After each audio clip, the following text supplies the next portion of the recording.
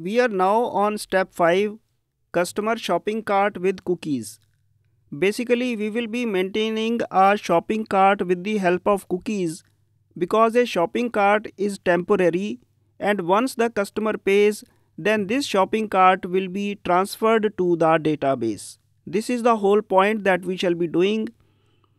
So this is the home page of the customer. Here add items and invoices these buttons will be added and once he clicks this button he is taken to the scan barcode and once he gets the scan barcode the item is added to the shopping cart. This shopping cart is entirely maintained in cookies.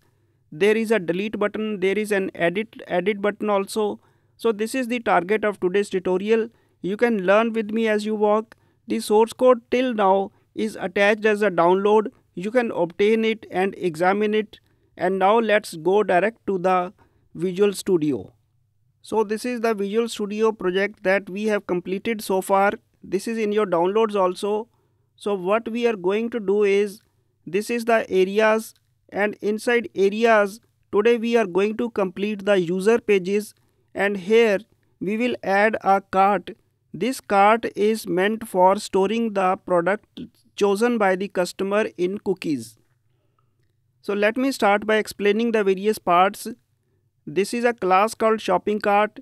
It contains a list of products selected by the user.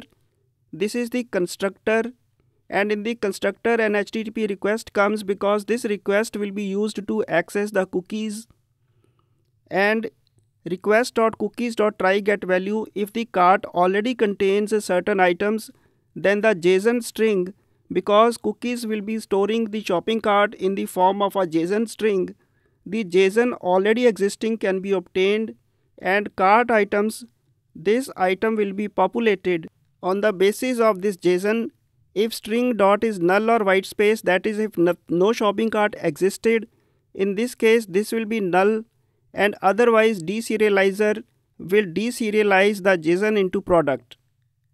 And this double question mark means that if this item is null, then in that case, this constructor will create an empty list of products, an empty shopping cart will be created.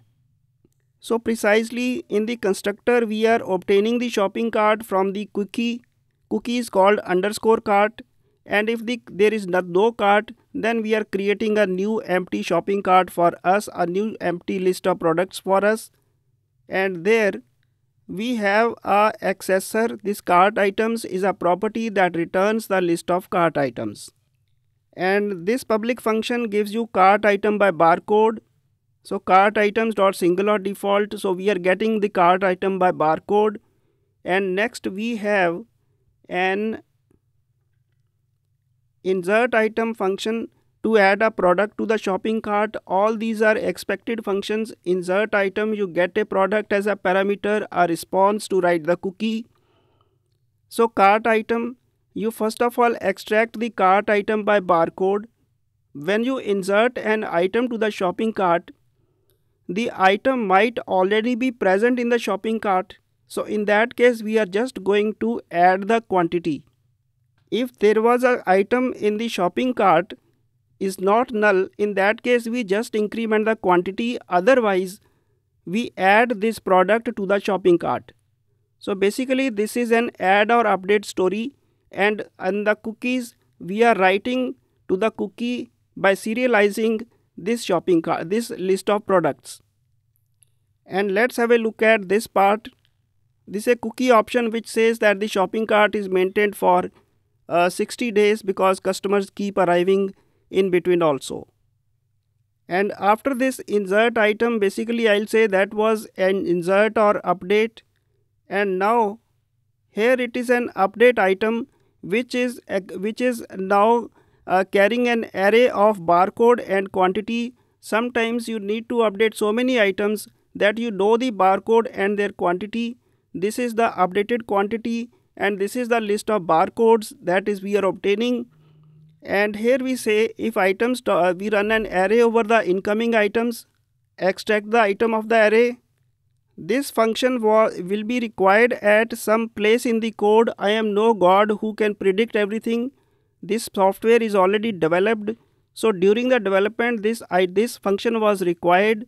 And therefore this params is coming because of that requirement. Multiple items have to be updated. And now a for loop on the incoming array it extracts a particular item gets the cart item and sets the quantity. It updates the quantity. This is basically an update a replacement. This function is most probably called during the edit operation that we can discuss we will discuss in the next tutorial. And after this the cookie is appended the cookie is created the whole list is added to the shopping cart and this is again a function for removing an item a list of barcodes for bulk deletion. So we obtain the barcode get the cart item remove and again serialize back. So these are nothing but create replace update operations